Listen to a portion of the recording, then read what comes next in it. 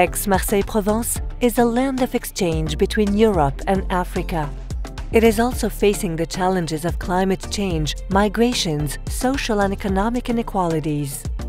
Taking advantage of its dynamic diasporas, the Metropole launched Provence Africa Connect, a public-private multi-stakeholders initiative promoting Aix-Marseille-Provence as a hub in clean tech and digital economy but also to attract African talents and to support innovative projects.